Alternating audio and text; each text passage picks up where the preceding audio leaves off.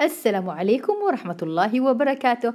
خلونا اليوم في هذا ال vlog نعمل جولة shopping ونشوف المحلات اللي موجودة في دريسدن يعني اليوم بيكون vlog shopping للي يحبون التسوق. فإيش رأيكم؟ اليوم آه ندخل على المحلات نشوف الجاليري نشوف الأشياء الموجودة هناك. فيلا بنا وخلونا نشوف أول وأكبر جاليري دخلنا هذا ال gallery ال gallery اسمه Altmarkt Galerie Dresden يعتبر من أكبر المحلات أو من أكبر المولات الموجودة في دريسدن هذا المول أو الجاليري في بو العديد من الماركات العالمية. ممكن تشوفونها وتزورونها وتشترون منها. وأنا بحط لكم عنوانه للي يحب يزور هذا المكان. العنوان موجود في صندوق الوصف.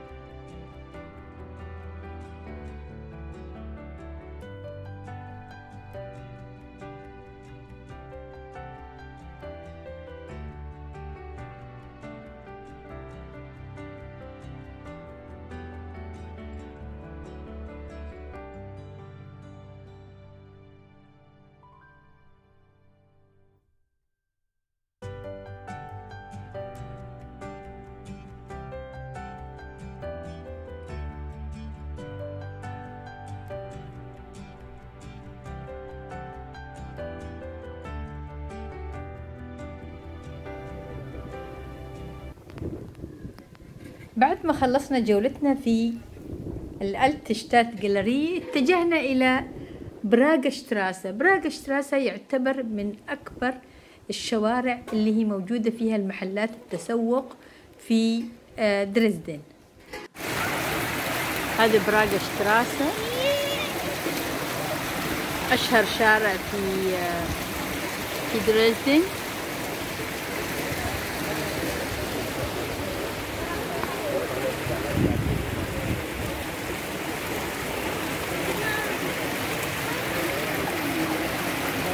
وشارع تسوق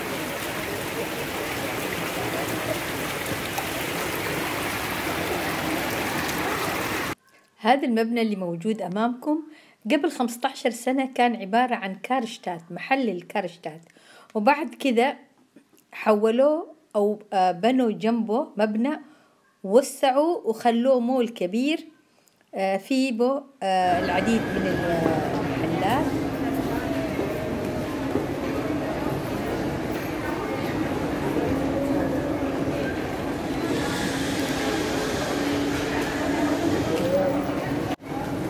هذا المول الموجود في دريسدن في براغ شتراسة.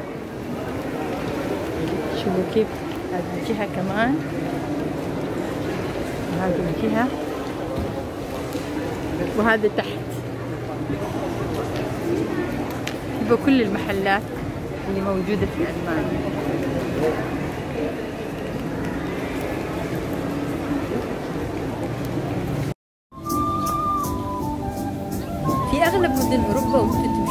بتسمعون موسيقى في الشوارع. طبعا هذول الموسيقى تجي من مجموعة من الناس اللي تعمل موسيقى في الشارع والناس تساعدها بالمال. يعني يغنون بدل ما يشحتون يأخذون اليوم قررنا نتغدى في مطعم إسطنبول. نجربه هذا موجود في براغ شتراسة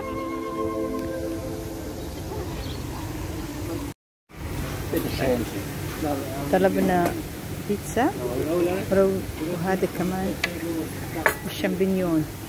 هذا من مطعم تركي. وكمان الشاورما البطاطس. شكلها لذيذة ونشوفها كيف بتكون. أقول لكم بعد الأكل.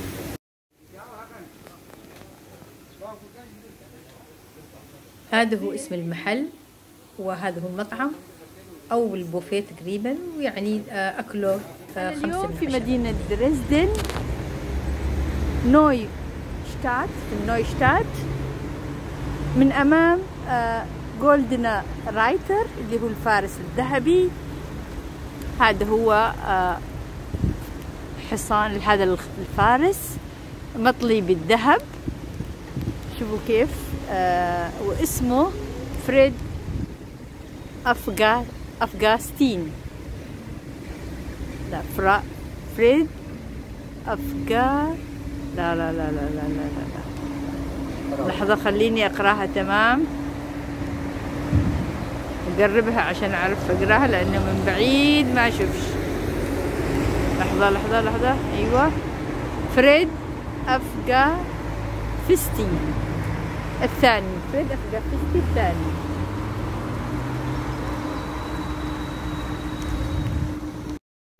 فريد أفغافستي الثاني. شوفوا الآن قربته شوفوا الحصان هذا. ومن هذا المكان برضه هذه النويشتات عليها مثل السوق أو مثل البوابة من الجانبين. شوفوا كيف. من الجانبين محطوط عليهم فوق برضه بالذهبي. هذول العمودين. من هنا الواحد ممكن يدخل إلى النويشتات. النويشتات في الجانب الثاني موجودة نافورة. برضه تماثيل قديمة. هذا التمثال الأول النافورة الأولى وجنبها النافورة الثانية. ويتوسطهم الخيل أو الفارس الذهبي. من هنا يبدأ السوق. النوي شتات السوق حقهم. فيه على طول هذا الشارع موجودة محلات. تبدأ من محل الآيس كريم هنا اللي آه تقريبا موجود من أيام ال DDR يعني من أيام ألمانيا الشرقية. ويبدأ كمان من الجهة الثانية بالمقاهي.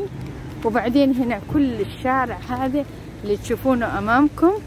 شارع ممكن الواحد يجلس فيه لأنه في كراسي من الجانبين وفي أطراف الشارع كله محلات.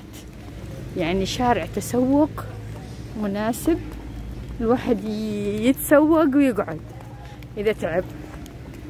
ولو أن التسوق ما يتعبش الحريم. تمشي وتتسوق ولا نتعب. يعني الواحد هنا بس يحطون الرجال يجلسون والحريم يروحون للمحلات يتسوقون. شوفوا شوفوا المحلات. كلها موجودة وكل الماركات كل الأشياء كل المحلات تقريبا موجودة. هذا طبعا غير اللي موجودين في آه في النوي ماركت. لأنه هذا لا تلخبطون بين الاثنين. هذا النويشتات مش النوي ماركت. النوي ماركت في الجهة الثانية في النوي شتات في الالتشتات بالأصح فعلا في الالتشتات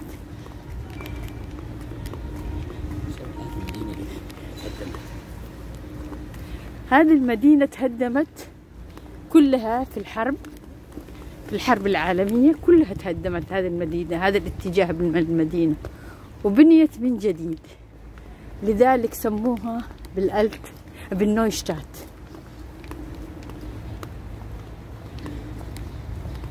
كلها بنوها من جديد وبنوا عليها المحلات الجديدة وكل شيء جديد هنا. فإذا بتزورون دريسدن مش فقط الالتشتات في كمان في النويشتات وهذه السوق. طبعا السوق طويل على امتداد زي ما تشوفون هناك. بس أنا بصراحة تعبت بوقف تصوير وبمشي لما النهاية. برتاح شوي. وبعدين بصور لكم نهاية أيوة والساعة هذه. شوفوا هذه الساعة أنا شفتها في زيارة سابقة لي. أعتقد موجودة من زمان. جنب النافورة. وتصورت فيها. أعتقد صورت مرة جنبها. أول مرة أجي إلى دريسدن هذه الساعة. موجودة في وسط مدينة آه وسط النويشتات. تمام؟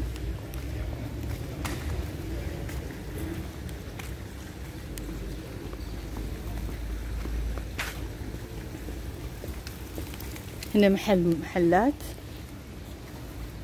على طول الشارع بنمشي في الوسط أحسن عشان أوريكم الجهتين من آه، من الأسواق. شوفوا هنا الجهة هذه والجهة هذه. هذه المحلات حق الألتشتات. في موجود عندهم بس بنلاحظ ان المحلات اللي عندهم آه، غير المحلات اللي عندنا في مدينة بون آه، أعتقد إنه الجهة الجهة الشرقية من ألمانيا تختلف عن الجهة الجهات اللي عندنا يعني في نوردهايم فيستفالن هذه كلها الأشياء أو المحلات اللي موجودة في زاكسن. غير يعني. يعني اللي بيز... لو زرتوا هذه المدينة تختلف. تختلف في أشياء كثيرة عنها. أنا لاحظت أن محلاتها غير محلات آه نوردهايم فيستفالن أو محلات الجهة اللي إحنا عايشين فيها.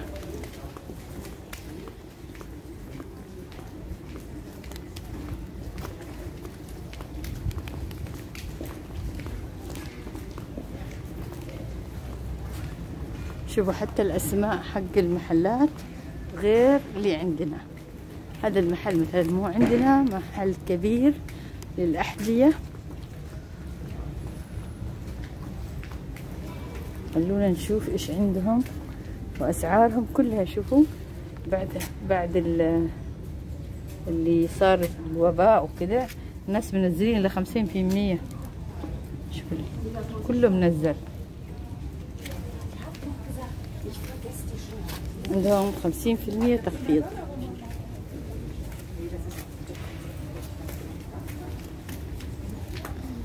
هذا طبعا محل عالمي موجود في كل أماكن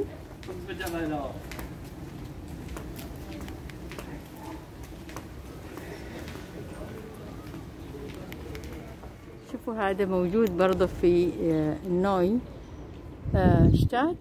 هذا عبارة عن مول. تمام؟ شوفوا كيف حتى اسمه قديم. الآن ما عاد يسموش آه، أسماء زي هكذا. كانوا يسمون ماركت هالة يعني قاعة سوق.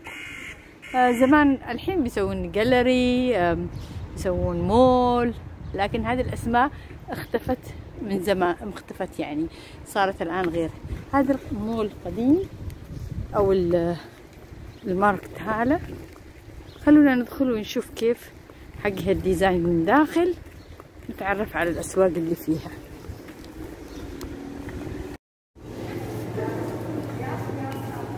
شوفوا كيف طريقة المول. أكشاك صغيرة. شوفوا. يعني هنا كشك. هنا محل صغير بدون أبواب حتى. وهذا المحل الثاني محل ورود. وهذا محل شاي.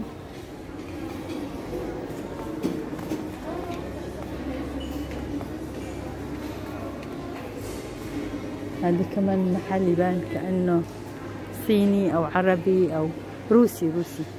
هذا محل روسي. وهنا قهوة. شوفوا كيف طريقتها. صراحة حلو يعني. حاجات أثرية وقديمة. شوفوا كيف. تذكرني بأسواق قديمة. أعتقد في سوق سوق نايف في دبي. بنفس الطريقة دورين كذا. شو؟ طريقة والله حلوة يعني. كلها مفتوحة على بعض لا في أبواب ولا شيء. حاطين فوق مكتوب هنا. موضة ومكتوب كمان ليدة يعني جلود هنا موضة وهنا ملابس تكستيل. وديك الجهة كمان نفس الشيء نفس الطريقة. شوفوا كيف؟ حلو والله. يعني سوق. غريب عجيب.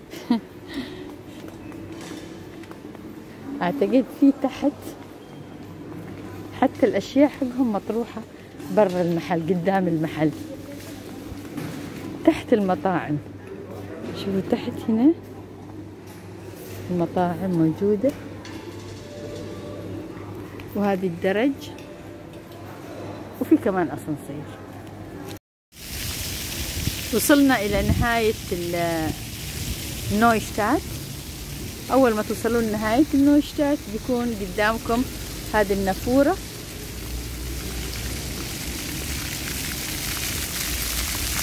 اللي هي مضيئة. فيها ضوء يعني. تمام؟ وتطل على حديقة. شوفوا على الباحة هذه كلها حديقة. وهناك شارع يجي منه. ممكن تطلعون من البانهوف يعني محطة محطة القطار الرئيسية في مدينة دريسدن. تطلعون وتجون على بهذا الترام تجون إلى النويشتاد للتسوق. من الأماكن اللي ممكن تزورونها في دريسدن هذا المطعم. مطعم هندي اسمه جانيش جانيشا. خلونا ندخل ونجرب هذا المطعم ونشوف كيف الأكل اللي فيه؟ هذا المطعم في برلين مطعم هندي اللي يحب يجي. يقدمون في المطعم الهندي لاسي مانجو لاسي. طعمه لذيذ. بصراحة فنان وسعره ثلاثة يورو ونص عصير. بس يستاهل. طلبنا هذا الرز البسمتي. وهذا الكاري مع الخضار. شكلها لذيذ. وهذا هو البرياني. والله عاملينه بطريقة حلوة ومشهية وهذا الصوص اللي معاه. هذا طبعا وجبة واحدة. بسعرها عشرة يورو. يعني الرز مع الصالونة عشرة يورو. وهذا قيمته ثلاثة عشر يورو البرياني مع الصوص حقه.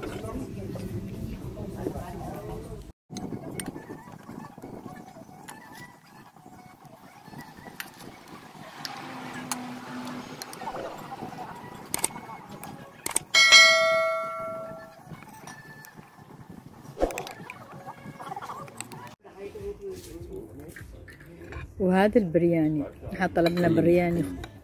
بصراحة الأكل بعطيه أربعة من عشرة تقييم. هذا وفي الأخير إن شاء الله يكون عجبكم الفيديو ولا تنسوا الاشتراك في القناة وتفعيل الجرس وعمل like و share مع الأصدقاء و Tschüss.